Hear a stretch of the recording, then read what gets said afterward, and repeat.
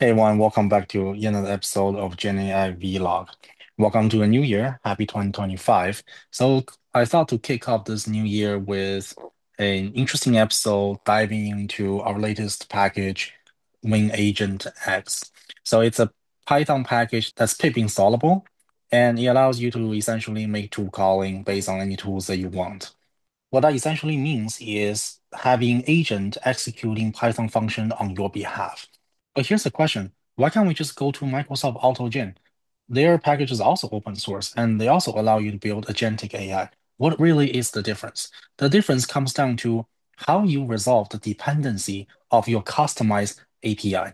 For example, when you have a problem with key value pairs or input arguments or sample payload in your own functionality, how do you know and how do you have the agent to fill that up for you if all this information is not present in your database, or if the agent needs to come back to you to ask you how to fill out these questions, right? So that is the interesting question that we're trying to answer here, hence the novel package being introduced in this video.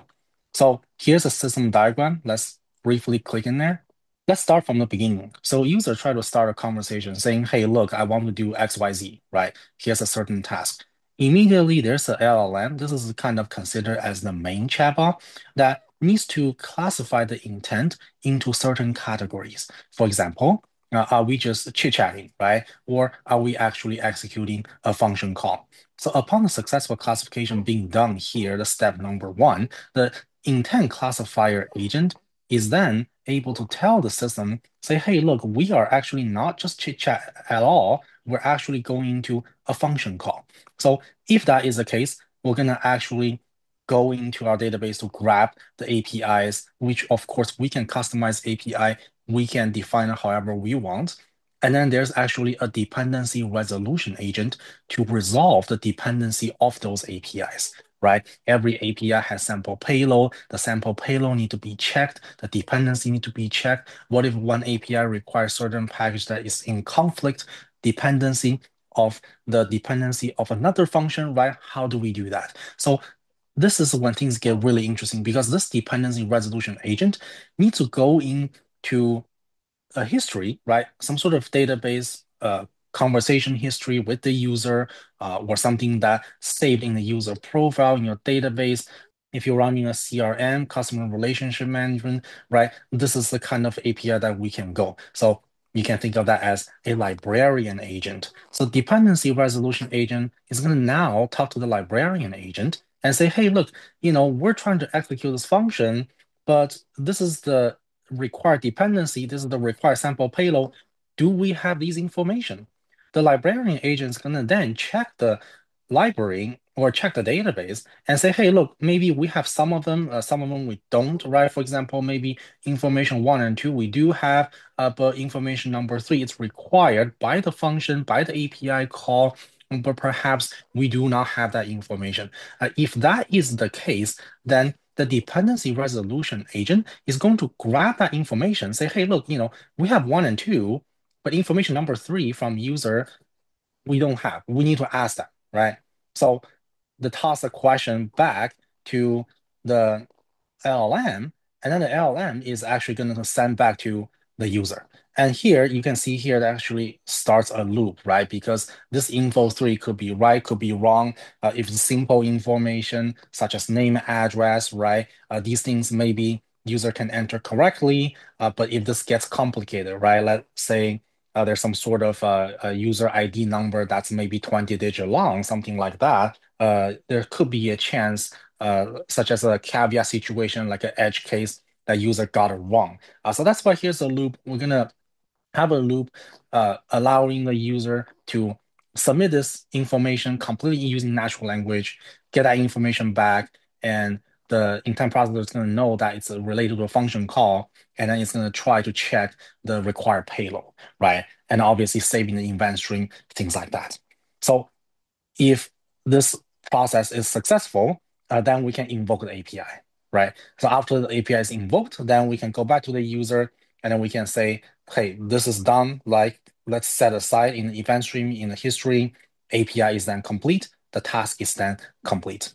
So that is a system diagram on a high level, and that's exactly what this package is doing. And that is how this package is designed differently from the common agentic AI framework out there, such as Microsoft AutoGen.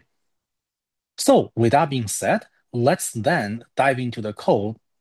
And first of all, let's introduce a fancy function such as Yahoo Finance. For example, here's a Python notebook here that allows you to install Yahoo Finance, and then perhaps you can then generate some sort of PDF.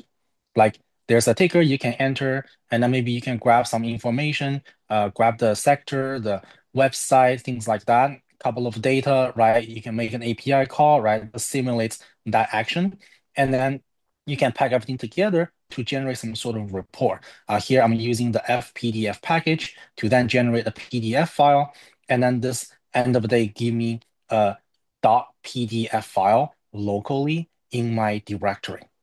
So let's say this function is there.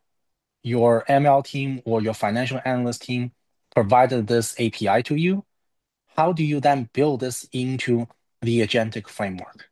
So let me take you to the GitHub repo, and then let me give you a peek of how this function is designed. Let's go to list of API, and then let me show you the function called the generate financial report.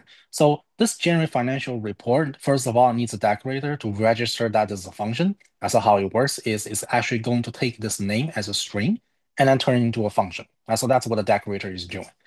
And then uh, it takes a couple of things as input argument. Uh, first of all, payload. Payload is what the algorithm needs to know to submit into the function as an input argument. And this payload also is where the uh, large language model is going to interact with the user to know if uh, we need to ask the user for information that the event stream doesn't have or not.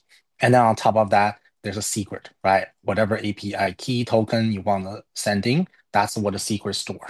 And last but not least, you have an event stream, which carries the entire history of the conversation uh, once it's being instantiated. So uh, the functions here, uh, nothing really fancy, right? No, we're not talking about something truly, right? Uh, it's pretty straightforward. We got a ticker. Uh, we want to save PDF. We Want to send an email. Uh, here's the email too. And then the rest of the code is to essentially extract the data from the Yahoo Finance, which is making a live API call. And then we have a helper function here to format data uh, so that we can pack everything into a PDF. And at the end of the day, since the send email is triggered, uh, if it is triggered, we will then send the email out using PyEmail. So that is the design of the function. Of course, we don't want this to be built behind some sort of a user interface. We don't want user to execute this as a Python engineer. We want user to use natural language to interact with this function and execute this function on behalf of user, right? So that's the magic thing about agentic AI. Any function that you can design you can have user to use natural language to fill in all these payload and to execute it on your behalf. So let's take a look how that works. So for example, I already have the sample code here. You just need to install the package, fill in your API key. That is really it. So is this one function that's already been defined here? Let's just execute it. So let's start a conversation. Let's say, tell me a joke. This is obviously chit chat, right? It's not going to execute any API call. So is that a joke? Right? Sure, here it goes. Why don't scientists trust atoms? Because they make up everything, right? And then there's no API found in this event stream, actually because it is not a function call. It is chit-chatting, nothing's really happening in this conversation. Now let's say I want to generate financial report. So I can say I want to generate a financial report of a company. Now this actually found some sort of trigger, right? Generate company report, that is a trigger word. And the intent now says that, hey, we know what you're trying to do. You are trying to run this function because you said something that's connected with the trigger word in our system. And of course, as you imagine, trigger word, uh, you can pretty much handcraft it, or you can use large language model to give you a giant list of different combination of trigger words. You got it, right? So now it's going to ask you for ticker.